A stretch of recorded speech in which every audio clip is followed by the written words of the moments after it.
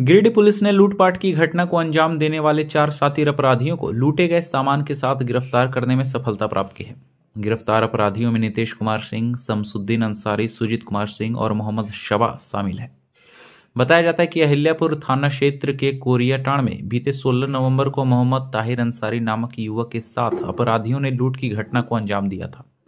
इस बाबत गिरिडीह के एसपी दीपक कुमार शर्मा ने प्रेस वार्ता कर बताया कि बीते 16 नवंबर को मोहम्मद ताहिर अंसारी नामक युवक अहिल्यापुर थाना क्षेत्र से अपने घर की ओर लौट रहा था।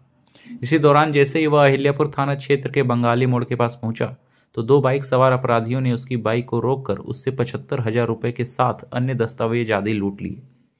जिसके बाद ताहिर अंसारी ने अहिल्यापुर थाना में आवेदन देकर अज्ञात अपराधियों के खिलाफ मामला दर्ज कराया था। घटना की गंभीरता को देखते हुए एसपी श्री शर्मा के निर्देश पर तुरंत ही एक छापेमारी दल का गठन किया गया था। जिसमें पुलिस निरीक्षक गांडे मोहम्मद कमाल खान, अहिल्यापुर थाना प्रभारी अमरजीत कुमार सिंह ताराटाण थाना प्रभारी प्रदीप कुमार महतो और ताराटाण और अहिल्यापुर के पुलिस जवानों को शामिल किया गया था। गठित टीम के द्वारा छापेमारी कर चारों अपराधियों को गिरफ़्तार करते हुए उनके पास से पुलिस ने लूट की घटना में प्रयुक्त हुई अपाची मोटरसाइकिल, दो मोबाइल फ़ोन, दो यूनियन बैंक का डेबिट कार्ड, दो प्रीपेड कार्ड, एक बैंक ऑफ़ इंडिया का डेबिट कार्ड और prepaid card PAN card voter card भी बरामद किया है।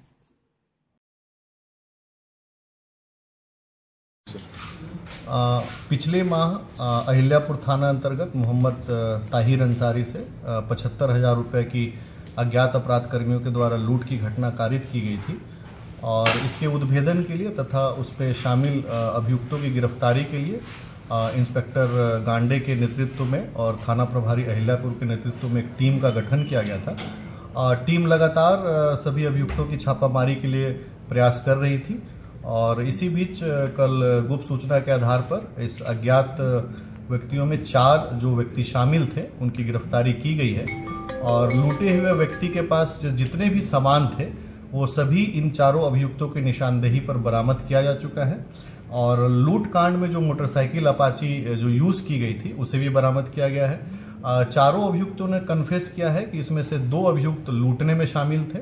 और एक अभियुक्त एटीएम के आसपास निगरानी कर रहा था तथा एक अभियुक्त रेकी कर रहा था।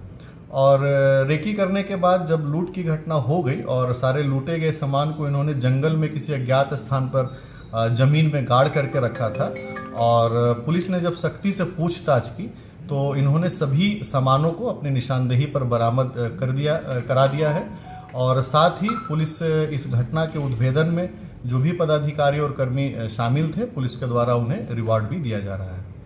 ये चारों और भी कोई कांड में संलिप्त है वर्तमान में अभी इनके किसी आपराधिक इतिहास की जानकारी नहीं मिली है। परंतु अज्ञात अपराधियों की खोजबीन में पुलिस जिस प्रकार से लगी हुई थी, पुलिस को इनके संबंध में कुछ अहम जानकारियाँ भी हाथ लगी हैं, जो अनुसंधान के साथ साथ उस पर भी ध्यान दिया जाएगा।